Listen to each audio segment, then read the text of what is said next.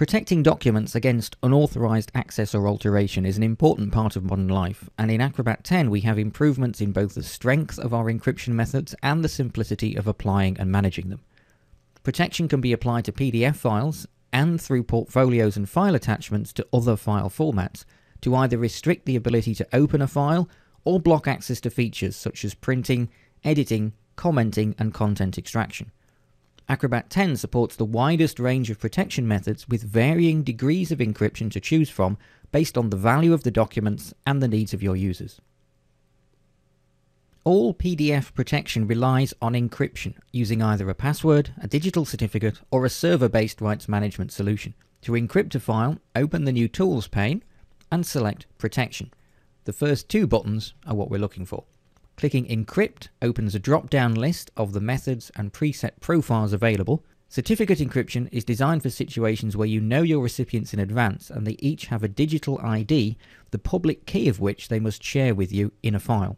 By using their certificates to encrypt the document, only they can open it. So of course you need to make sure you've included your own certificate in the list of recipients or you'll be locked out. Then we browse for the shared public keys that have been sent by each of our recipients. And for each user, we can set individual permissions on what they may be allowed to do when they open the file.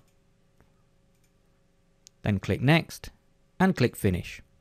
The settings have been remembered, but they haven't been applied to the file.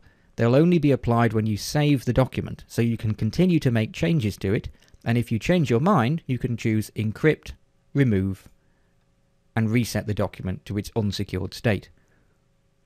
Password based encryption is the most commonly used method and the most widely supported in non Adobe software, plus, it doesn't need any advanced knowledge as anyone who knows the password can open the file. The settings dialog for password protection has a number of important changes in Acrobat 10.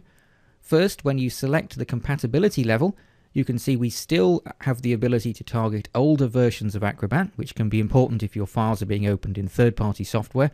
However, the strongest method, based on 256-bit encryption, is now compatible with Acrobat and Reader 10 and later. If you're distributing files to users of Acrobat or Reader 9, you should choose the Acrobat 7 and later preset. There are two ways we can protect the file. We can apply an open password, which of course is needed to open the file in the first place, or we can restrict operations on the file with a permissions password, or both. Of course, if you choose both, you can't use the same password twice. I'll leave the open password blank. The new strength indicator shows how complex the password is and how likely it is to be guessed by a human or a software-based attack. If I just type in hello, it tells me it's a weak choice, add a couple of digits and it's getting better, and maybe some punctuation. Of course, the more complex it is, the harder it is to remember, so I'll just stick with hello in this example. We then define what our recipients will be allowed to do if they don't know this password. If they do, they can turn off the restrictions. I'll allow them to print the file, but not to make any changes. Remember that Adobe Reader 10 now allows access to a basic set of commenting tools for any unsecured document, so by selecting None from the Changes option, I'm turning those off as well. To keep them active, I'd need to choose one of the commenting options instead. You usually leave this first entry unchecked so people can't copy and paste your content to other applications, and the second entry checked. If you turn this off, Acrobat warns you there may be regulatory requirements for accessibility to deal with. Now I just re-enter the password, and we're done.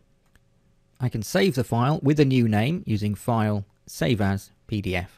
If I was going to distribute the file to Adobe Reader users and I wanted them to be able to fill in forms, sign pages, or use the fuller range of commenting tools, I'd choose Reader Extended PDF. However, the security permissions I've chosen will take priority, so as I've decided to prevent all changes, Reader extending this file wouldn't serve any purpose.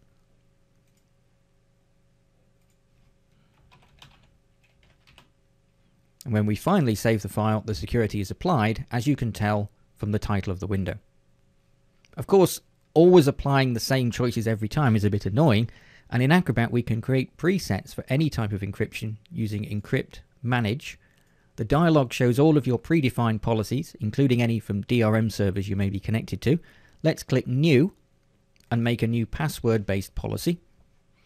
We're asked to name and describe the policy.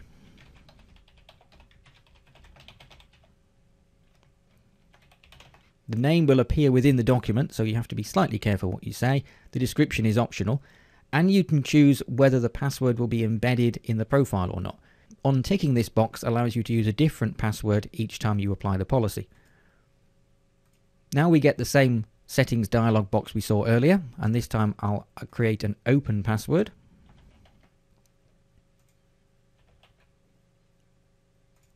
Clicking Finish saves the new policy, and I can choose to apply it to the current document right away.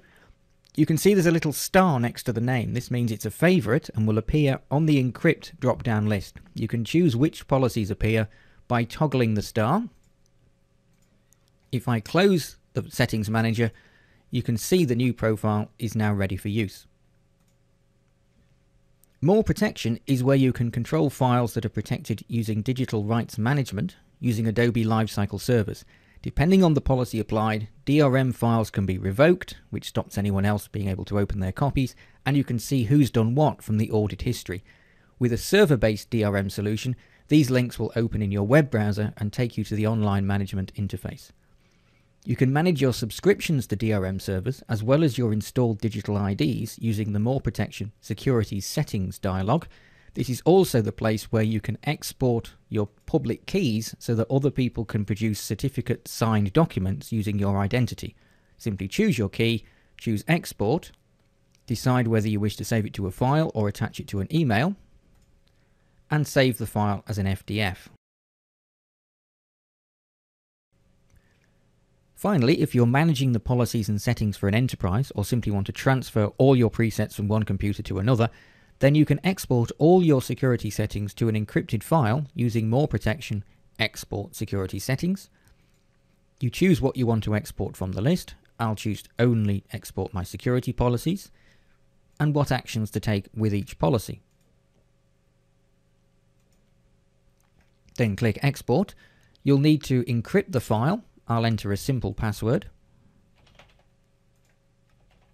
and then sign it with a digital ID.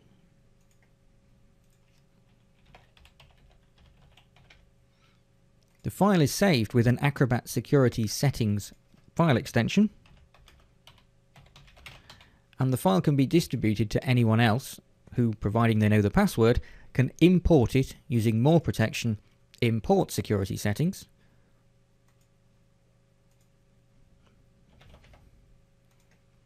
and by clicking Import, existing entries are updated, new ones are added, and revoked entries are removed. If you're applying encryption regularly, you can add the Encrypt tool to your Quick Tools menu, either by right-clicking it and choosing Add to Quick Tools, or just by dragging it into the Quick Tools bar.